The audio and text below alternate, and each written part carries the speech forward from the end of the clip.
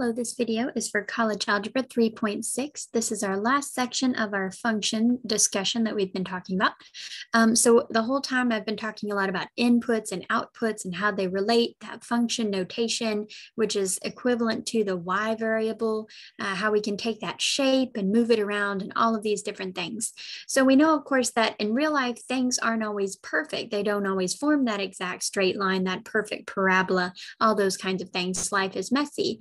So so in this section, we're going to learn how to kind of take some of that messiness and with the use of our graphing calculator, turn it into something that we can kind of follow. So if you don't have it with you right now, go ahead and pause the video, grab your graphing calculator, or some of you guys use that app on your phone while you don't have the calculator with you.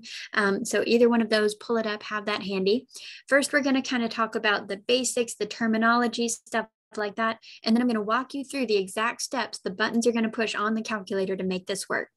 So we've said the input and output the whole time, same story. The X value is the independent input variable, which then gives us an a dependent output variable, usually represented by y.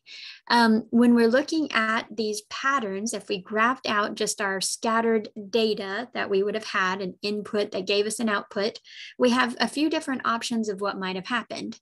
Um, so we actually could have had any shape. In this lesson, we're only going to look at linear um, correlations here, just because they're the most simple. We're just kind of hitting the basics, but just be aware that in real life, you could have any shape It might form up to be a parabola or a cubic, or you've probably heard a lot about exponential growth, things like that.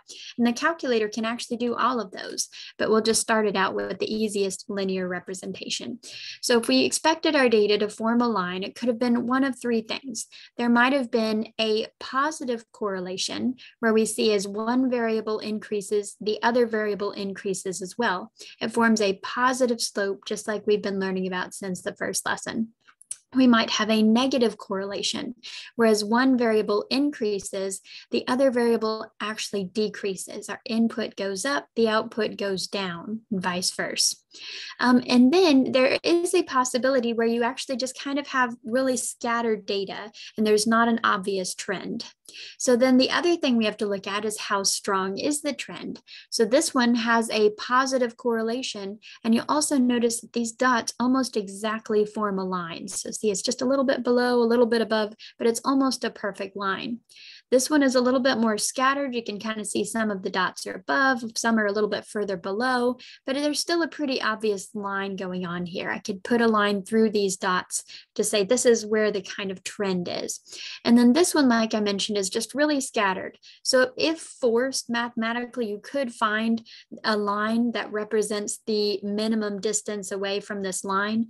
Um, and we'll talk a little bit more about the mathematical way they're finding this line. But it would be weak. It wouldn't be a really good representation of that data. So just kind of know we have these three options, the positive slope, the negative slope, and then just kind of all over the place. We could have it really close to the line, a little bit more spread out, or just completely spread out. We have a variable that we can use to identify all of this that the calculator again nicely finds for us. So when we get to that calculator step, all of this information is going to be given by one specific variable on the calculator. All right, so let's again just kind of talk about the terminology, what's going on with these numbers, what does it all mean, and then we'll look at the actual calculator. So hopefully it makes a little more sense when we get to that step. So first off, would these represent a linear function? Like I mentioned, things could uh, be shaped like a parabola, a cubic, all kinds of basically any shape you can think of. So if we wanted to check that it was going to form a nice pretty line for us, that was going to form a linear function, we need to make sure that as one increases, the other increases proportionally. So what does that mean? Well, let's go see the difference between these x's. So from zero to five, there's a difference of five. Five minus zero is five. From five to 10, there's also a difference of five. Five to 10, it goes up by five. 10 to 15, it goes up by five. So notice these are all the same. It's increasing proportionally. Let's see what's going on with the Y values, the outputs. So 7 to 32, that one is 25 away. So from here to here, they spread out by 25. 32 minus 7 is 25. To get from 32 to 107, how much did those spread out? That one is actually 75. So actually right now I know, but let's just triple check 32 or 232 to 107. That was a difference of 125. Now you might say, well, there is a pattern. There is, which would be one of those other shapes, but it would not represent a linear function because they have to increase by the same proportion. Since these each increased by the same five, these would need to each increase by the same number and they did not. So the answer is this one is no, not a linear function. Okay, it is not because these numbers are different. All right, let's try another one. Now this one, zero to five, that again is a difference of five. Five to 10, that's the difference of five. 10 to 15, that's a difference of five. Now this one, it's going down, but that's okay. 7 to negative 18. How far apart are those? Remember that the positive 7 would be like above sea level, and then the negative 18 would be down below sea level. So those actually have a difference of 25. I on the right thing? Yep. Okay, so it went actually down 25. Okay, from 7 to negative 18 is negative 25. If I'd punched in and I could have done negative 18 minus 7, just like over here, I would have done 5 minus 0. Negative 43 minus a negative 18. I know it's a little tricky, but how far apart are these? How far apart are 43 and 18 on the positive side? They would be 25 apart. Again, it decreased, it went more negative by 25. Last one, 68 to 43. Okay, those again went down by the same amount of 25. So these have the same proportion. This one, yes, would represent a linear function because the numbers have the same proportions. Okay, one more. So this one has a little jump. It's a little bit sneaky from 10 to 5. 10 minus 5 is 5. Okay, from 10 to 20. This one had a jump of 10. 20 to 25. This has a jump of five. Now, it's not automatically a no. It's just that this data point was further away than these two data points. So remember, it's about a proportional jump, not necessarily identical. So watch this. 24 to 44, that's a jump of 20, right? 44 minus 24 is 20. Okay, what about 84 to 44. That's a jump of 40. And then 84 to 104 is 20. So they have the same proportions. If you went halfway in between these two, there would be that 15, right? And halfway in between these two would be 64, which would be the same 20 apart. So it's not just about them exactly matching because you can find whatever data points you need. It's about them matching proportionally. So since these increased by five, five to 10 to five, these should have increased proportionally. This would be doubled. Okay, so I know it's a little bit tricky. So if you weren't sure, here's how you could double check. This five should have matched up to this 20 in the same way that this 40 would match up to this 10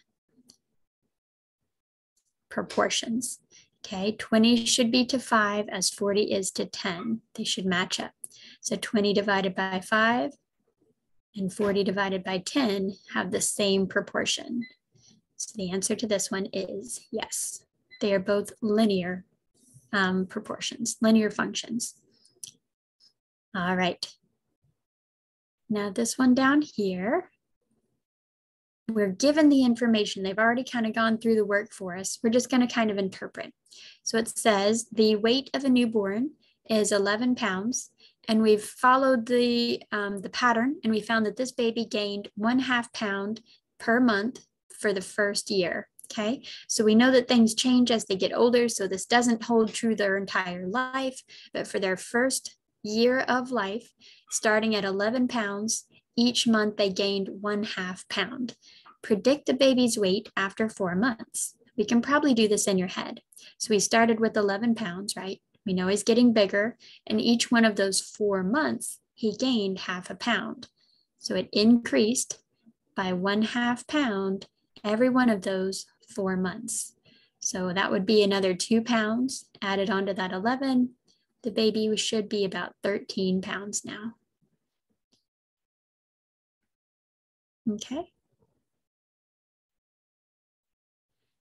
So if you did it in your head, you might not have written it out exactly like this, but I put it in this way because if we wanted to represent it as a linear function, we could write it out in the same way. We knew he was going to start out at 11 pounds no matter what happened. And every time he grew one month, he would gain another half pound. So I could find it for any number of months, four months, six months, 2.37 months, anything like that, by taking that starting weight of 11 pounds and adding half a pound for any number of months that I wanted. This would give me the new weight of the baby. Okay, so this would be the baby's weight as a function of months. It did specify that for the months, they're going to use the variable t for time. Okay, a lot of times in XYZ, you might do something like I did right there, put an M for the months. And then when you push enter, it'll pop up and say, you know, even before you hit enter it, it should give you a little highlighted, something's wrong, the variables aren't matching. So just keep an eye out for those little errors. It always tries to kind of give you a hint. So little things like that are really easy to do. Okay, next it says to find the domain and range. So like I mentioned up here, this isn't a good model for the baby's entire life. It was only good for the first year. So that means the domain of this function.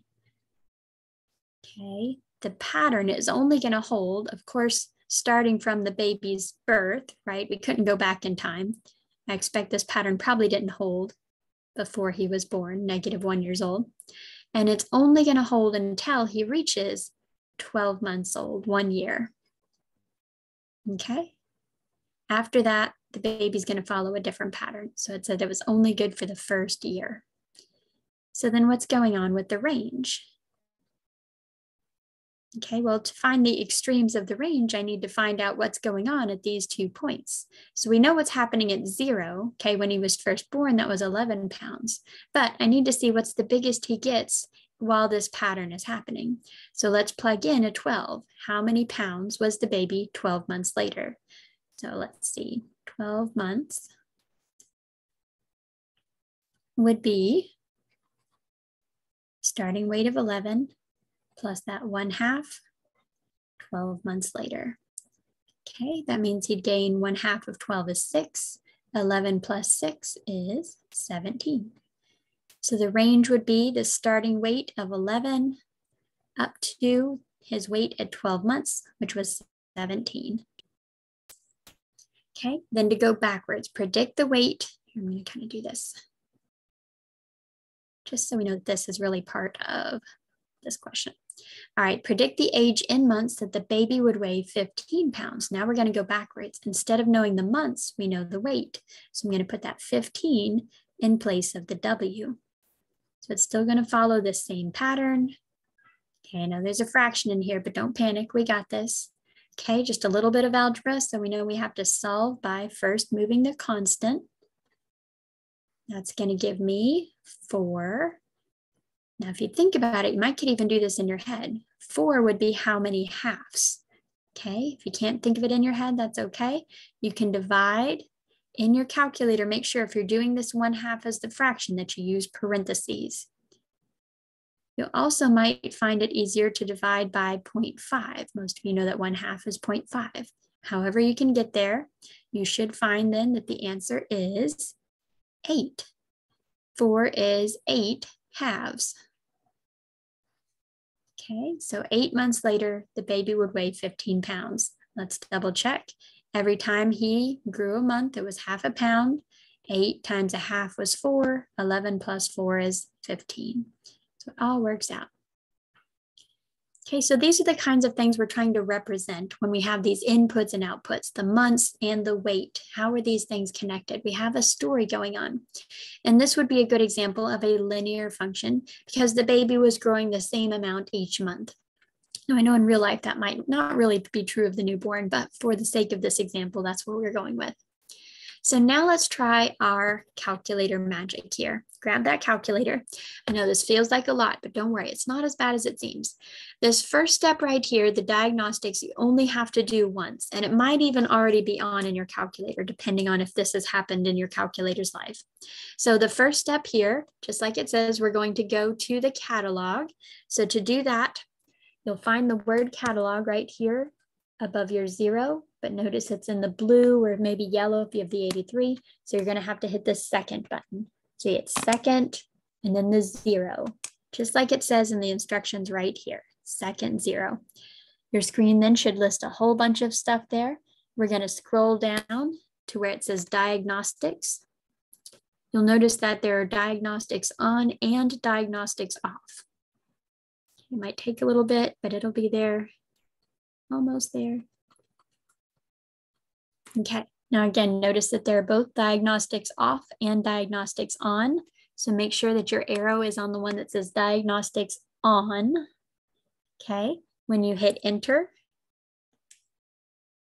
it just double checks that's what you wanted. Hit enter one more time and it should say done. Okay, so we went second zero, scrolled to diagnostics on, enter twice. Okay, and now depending on your calculator, you may or may not have to do this. Mine's just already still there. But if you wanted to be safe, it doesn't hurt to go your second quit. That always puts you back on the home screen. Okay, so again, this only has to be done once. You don't have to do this every single problem. Once they're on, they stay on.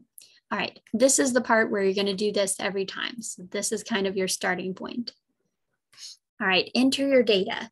So if we knew some data, instead of it being a pattern like the baby, but we just had some records from previous babies. So we're gonna do this one right here.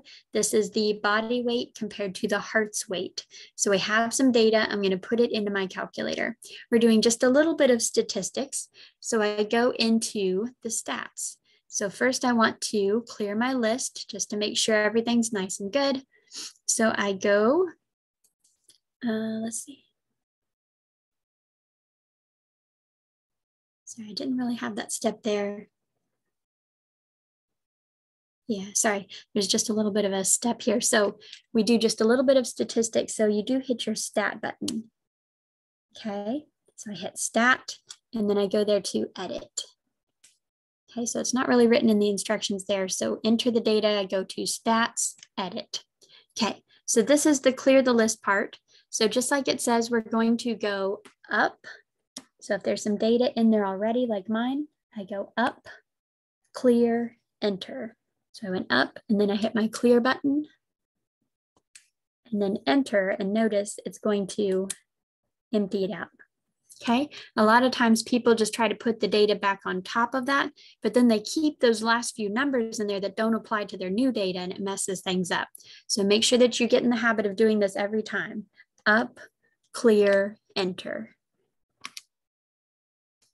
and it should have a nice blank list now. Okay. All right. So back over to list one, I'm going to put in the body weight, these numbers here.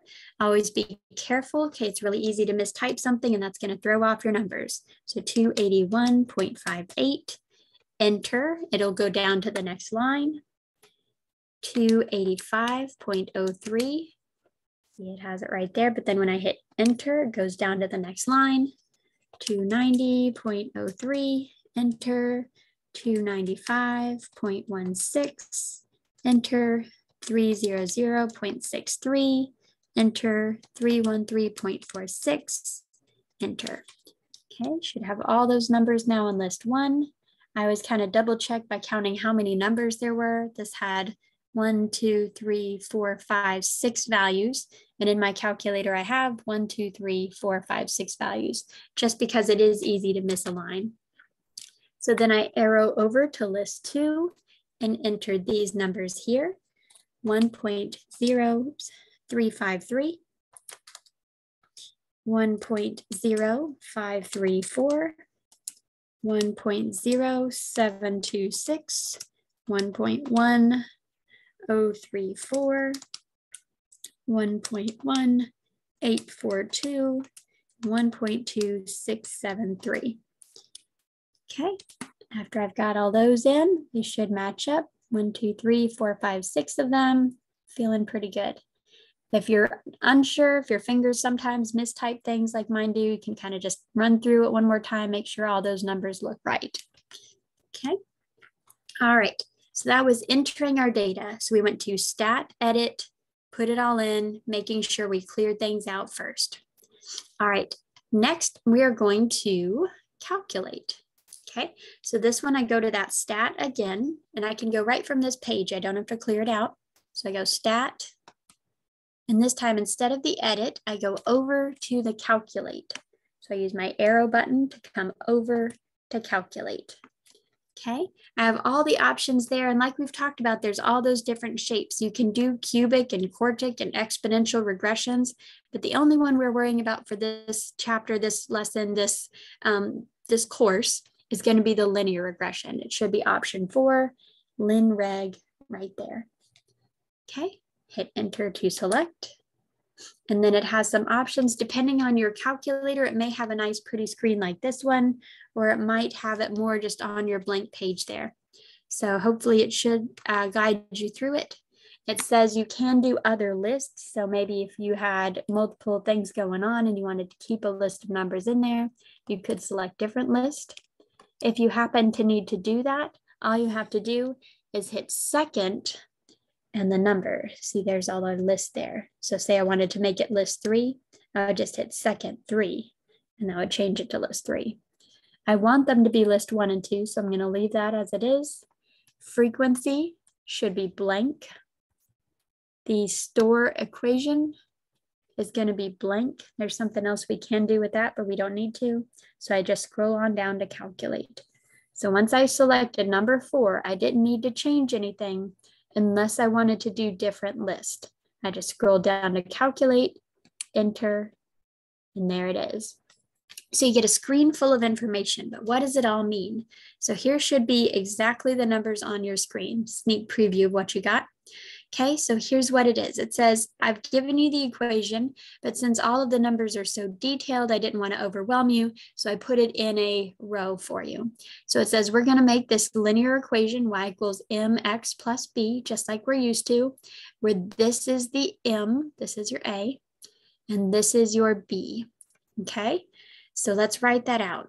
In its nice, pretty, messy form, that would be an a of I'm going to write the whole thing. Okay. Usually there are rounding instructions in the problem, but just be very, very thorough, I'm going to write this whole big messy thing out. X plus the B, KB, which is a negative 1.113118448. Okay, this is the whole big messy linear equation given by our calculator.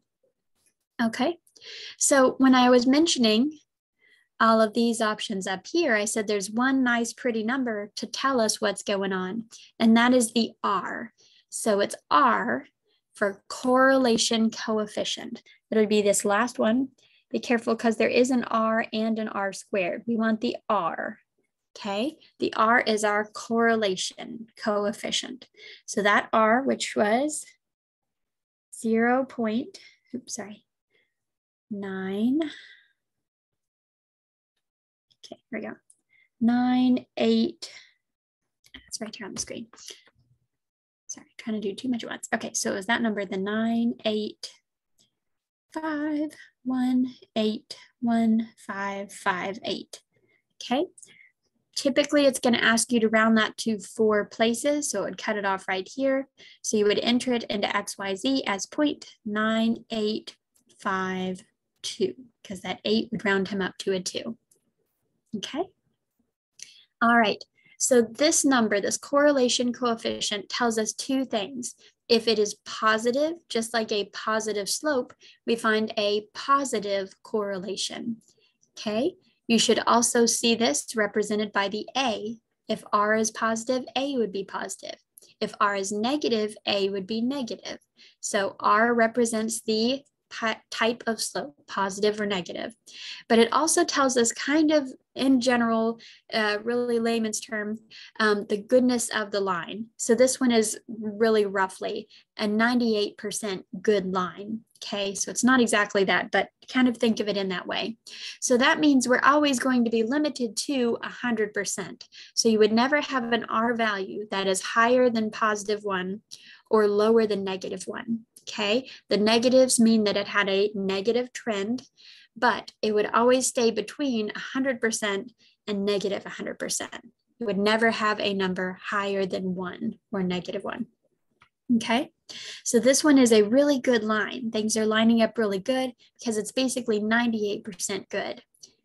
Something like this would have a correlation coefficient, maybe like 0.4, okay, something really bad. This one, like ours, would have something like that 0.98. This one would be a little bit more spread out, maybe like a 0.8. Okay, so the correlation coefficient shows how good it is. And then this one, I almost messed up, since it was negative, would actually have been a negative 0.8. All right, so what do we do with this information? We're going to use it to do two things. We're going to predict the heart weight for a certain gram weight of the rat. And we're also going to go the other way and predict the weight of the rat knowing his heart's weight. Okay, since these things tend to line up, we should be able to closely predict how one affects the other. Here we go. So if we knew the heart's weight, okay, that was our Y value over here. Oh, sorry. If we wanted to predict the heart weight, that's the Y value. And we knew the body weight, that is our X value, our input. So I'm going to use this big messy equation right here and input 330 into X. Okay, so I'm going to type in my calculator, y equals 0 0.007. We're going to round this to, let's see, four places is typical. Seven, six. Okay, round it to four places. We're going to put in that body weight of 330. And then we're going to plus a negative minus 1.1131, rounded to four places. Okay, punch that into your calculator. And you should get 1.3949.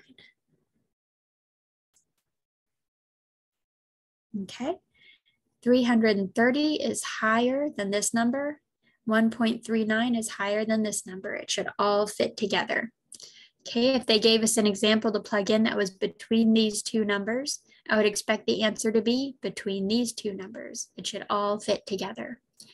Last one, what if we went the other way? What if we knew the, um, the rat's heart's weight and we wanted to predict the rat's body weight? So this time I know the Y value.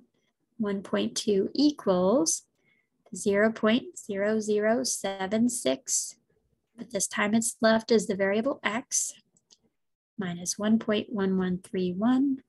Notice I just did this minus instead of a plus minus, okay, just because we know if we add a negative, we're really just subtracting. Okay, now it's just a little bit of algebra. Don't get scared by those decimals because you've got your handy dandy calculator. So we're just gonna solve this by first moving the constant. Mm, three, one. That's going to give us 2.3131. And then last, we'll just divide by this crazy decimal, 0076. Be careful with those zeros. It would be really easy to mistype as 0.076 instead of both of them.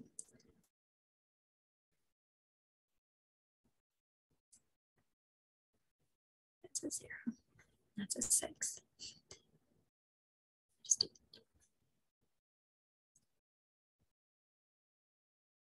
There you go. Okay, and that should give you 304.355, and we'll round it again at four places, three. Okay, So like I said, it would be really easy to miss one of these zeros. If you did so, your answer would have been off by a factor of 10. You would have gotten 3,000 or 30 or something like that. So again, just kind of double check your answer with what you've got. So 304 is in with these numbers. 3,000 or 30 would have been suspicious because that's way different than these numbers. 304 seems right. Let's go match it up. 304 would be between these two. And sure enough, 1.2 is between these two. It fits in just where it's supposed to. So I feel good about these answers. I feel pretty good about the calculator. So when you get to these steps, it seems like a lot those first times. Just kind of come back to the end of this video, maybe rewatch me going through those steps. Remember, you only have to do this one time. These are the ones you will repeat, okay? If you ever have questions, always feel free to ask me. You've got this.